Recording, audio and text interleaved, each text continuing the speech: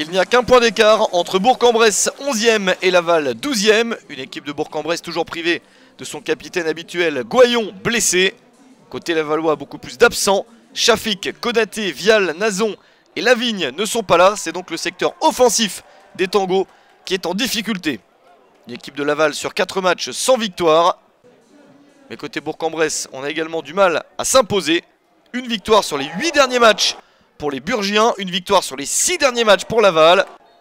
C'est donc peut-être une série qui va s'arrêter pour l'équipe qui va réussir à s'imposer.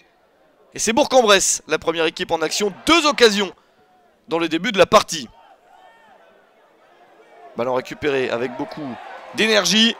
Et le duel pour Papsané complètement raté. La frappe du gauche manquée, ballon capté facilement par Lionel Capone.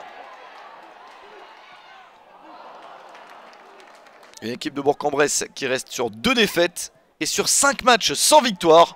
Ici, elle tente tout pour marquer. Et le but est d'ailleurs inscrit mais refusé. Position de hors-jeu. Ce qui sauve la défense lavalloise. Et Lavallois qu'on a très peu vu en attaque et qui se montre ici. La reprise de la tête et c'est sur le poteau.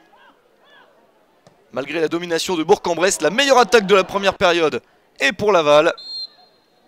À la mi-temps, pas de but entre ces deux équipes.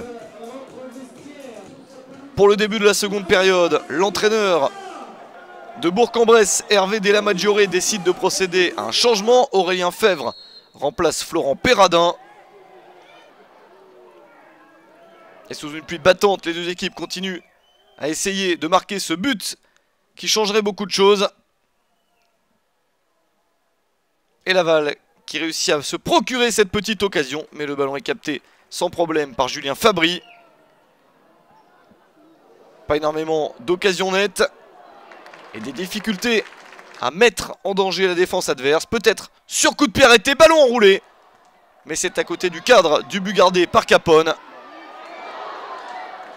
Peut-être une toute dernière opportunité dans ce match avec ce long ballon sur le côté. Mais impossible d'aller vers le but et c'est trop tard. 0 à 0 entre Bourg-en-Bresse et Laval.